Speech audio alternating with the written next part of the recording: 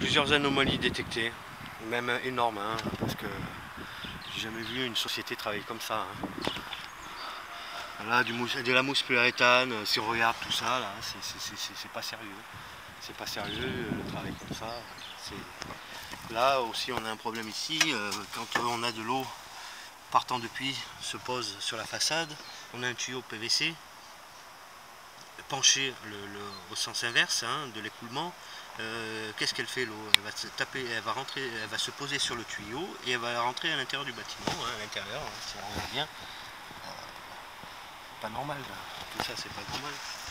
Là encore, c'est une chose. Là, le plomb, euh, c'est du bricolage, hein, et c'est tout neuf.